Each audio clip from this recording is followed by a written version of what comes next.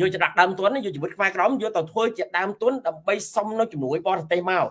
ហើយចុះបើជំនួយនឹងបានទៅលើដៃវៀតណាមហើយវៀតណាមមិនទៅទៅអភិវឌ្ឍនៅកន្លែងហ្នឹងយើងអាចមានការប្តឹងធ្វើជាសេចក្តីរាយការណ៍ទៅអង្គការសហជីវជាតិថាណែគម្រោងអ្នកឯងផ្ញើមកដើម្បីទៅអភិវឌ្ឍកន្លែងហ្នឹងឥឡូវយួនមិនធ្វើទេណាខុសគោលការណ៍របស់អឺអឺសេចក្តីប្រកាសរបស់យួនហ្នឹងហើយអញ្ចឹងសេចក្តីប្រកាសរបស់យួនហ្នឹងត្រូវបានអឺនិយាយរួមទៅក្នុងការងារ លើកឡើងថាយួនទទួលនៅអំណោយហ្នឹងគឺអំណោយមកពីបរទេសហ្នឹងគឺគ្មានអំណោយណាអំពីអង្គការសហជីវជាតិហ្នឹងទេអំណោយដែលធ្វើនៅក្នុងសកលលោកហ្នឹងលុះត្រាតែប្រទេសណាមួយដែលនៅក្រោមបន្តអឺមិនតន់ស៊ីវិល័យមិនតន់ជឿនលឿនអឺដោយគេនៅលើសកលលោកទៅគេអាចប្រើជំនួយនឹងទៅ ហើយជំនួយទី1ជំនួយទី2ទៀតទល់តែប្រទេសហ្នឹងទៀមទាយកទៅអភិវឌ្ឍឬក៏ធ្វើអ្វីមួយនៅតំបន់ណាដែលអង្គការសហជីវជាតិចាប់អារម្មណ៍ជាពិសេសដោយទឹកដីកម្ពុជាក្រោមហ្នឹងគឺគេបានសិក្សាច្បាស់ថានៅតំបន់មួយចំនួន ដែលតេតួងជាមួយនឹងទឹកសមុទ្រអាចកើនឡើងរហូតដល់អាចធ្វើឲ្យហានិភ័យកើតឡើងដល់ប្រជាជននៅតំបន់នោះទៅអាច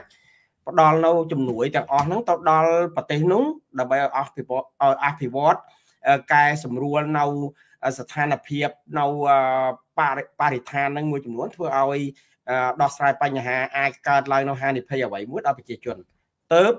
អង្គការសហប្រជាជាតិនឹងប្រើជំនួយនឹងទៅដល់ប្រទេសហ្នឹងហើយយើងនិយាយដោយឡែកប្រទេសវៀតណាមវិញហេតុអីបានបងលើកឡើងថាមានជំនួយហើយជំនួយហ្នឹងអ្នកណាមួយអាចទទួលនៅការស្អុះក្តៅឬក៏វិជ្ជញែកអំពីជំនួយអស់ទាំងហ្នឹងជំនួយហ្នឹងការពិត វាមកអំពីដោយខ្ញុំលើកឡើងមកអញ្ចឹងថាប្រទេសវៀតណាមបានធ្វើ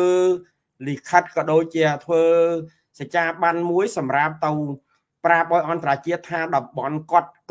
កំពុងតែគ្រប់គ្រងហ្នឹងគឺមានការខ្វះខាតនៅចំណុចណាមួយហើយខ្វះខាតនៅ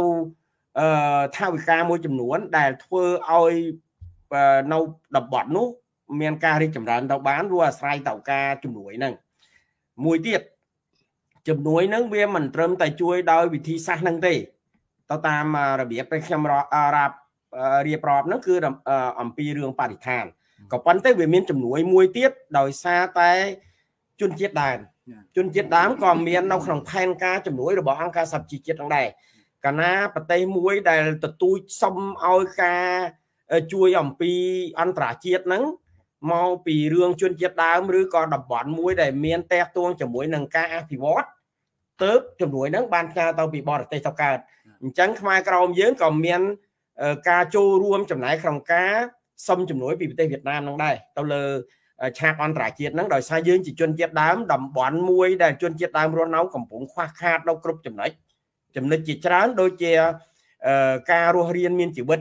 ទៅតាមច្បាប់អង្គ ការសហជីវជាតិស្ដីពីសិទ្ធិជនជាតិដើមស្ដីពីសិទ្ធិមនុស្សដែលមានការរស់រានជីវិតហ្នឹងតើមានអីតើការមានការហូបចុកប្រចាំថ្ងៃគ្រប់គ្រាន់មានទឹកស្អាតមានបរិស្ថានស្អាតជាដើមនោះធ្វើឲ្យប្រទេសវៀតណាមនោះខ្វះខាតនៅចំណុចអស់ទៅហ្នឹងអញ្ចឹងចំណុចហ្នឹងហើយដែលធ្វើឲ្យប្រទេសវៀតណាមត្រូវសុំជំនួយទៅលើអង្គការសហជីវជាតិហើយអង្គការសហជីវជាតិនោះគេត្រូវជូនឯកទេសបរិស្ថានមួយចំនួនទៅស៊ើបអង្កេតនៅប្រទេសវៀតណាមហ្នឹងដែរ ជាពិសេសតមើមើសិទ្ធិមនុស្សនៅកម្ពុជាក្រមដល់កម្រិតណាហើយបើខ្មែរក្រមយើងមានការតវ៉ានៅចំណុចដែលស្របទៅតាមអង្គការសហជីវជាតិក៏ដូចជាស្របទៅតាមជំនួយបរទេសទៅនឹងគេតែងតែផ្ដោតនៅអារម្មណ៍គេទៅជាមួយដើម្បីមើលមើលថាតើជំនួយវៀតណាមសរសេរទៅនឹងសរសេរដោយវិធីសាស្ត្រណាហើយគម្រោងវៀតណាមត្រូវការធ្វើអីអញ្ចឹងតើកណាជំនួយទៅគម្រោងទៅដល់អង្គការសហជីវជាតិក៏ត្រូវឲ្យអ្នកឯកទេសទៅតាមមើលថែ ហើយពិនិត្យមើលដែរអញ្ចឹងជំនួយនឹងច្បាស់ជាវាមានតេតិនជាមួយនឹងសេចក្តីប្រកាសរបស់អង្គការសហជីវជាតិនឹងស្ដីពីជនជាតិដើម ស្ដីពីបរិស្ថានហៅថាអឺអឺគេហៅថាអី GSD SDG អាគម្រោង SDG ហ្នឹងគោលការណ៍អភិកបប្រកបដោយជីវភាពរបស់អង្គការសហជីវជាតិហ្នឹងនឹងជំនួយហ្នឹងទៅប្រទេសវៀតណាមខ្ញុំគិតថាជំនួយហ្នឹងវាតេតួងដោយ SDG ហ្នឹង អញ្ចឹងហើយបានប្រទេសវៀតណាមសប្តាហ៍ហ្នឹងវាជាប់ជាមួយគម្រោងហ្នឹងហើយគម្រោងនឹងទៀតសោតវាមានតេតូនជាមួយនឹងការអភិវឌ្ឍតំបន់ដែលកំពុងតែរួងគ្រោះដោយធម្មជាតិអាចនិយាយថា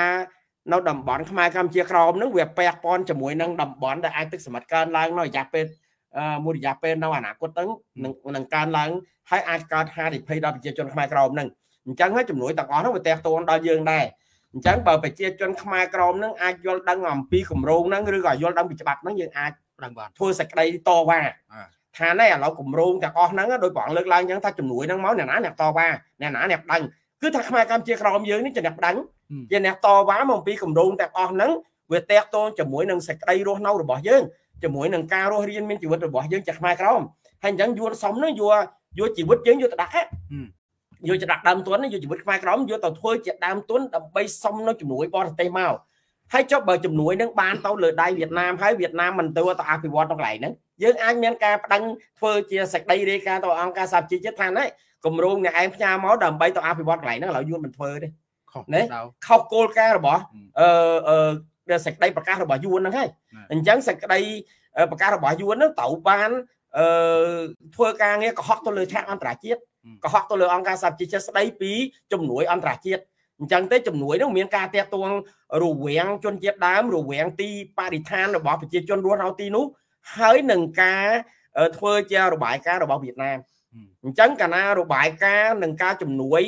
នឹងកន្លែងអភិវឌ្ឍនោះវាមិនវាមិនស៊ីជំរូវវាមិនតេតួងជាមិនខ្នាច់សិនជាមួយគ្នាទេយើងអាចមានការធ្វើការងារ អឺទៀមទានៅអ្វីមួយដែលវាវាវាមិនបានធ្លាក់មកលើអឺការងារដែលយើងត្រូវបានបែរទៅជាយើងមិនបាននេះអញ្ចឹងហើយអាហ្នឹងហើយយើងខ្ញុំកណាសុំឆ្លើយឲ្យខ្លីថាយើងមានការតវ៉ានៅចំណុចហ្នឹងបើសិនតែខ្មែរក្រមយើងមិនមិនអាចតវ៉ាបានយើងអាចផ្ញើគម្រោងទាំងអស់ហ្នឹងមកអាចសហព័ន្ធជួយតវ៉ានៅចំណុចមួយចំនួនដែលតាក់ទងជាមួយនឹងជំនួយហ្នឹងអូខេអរគុណ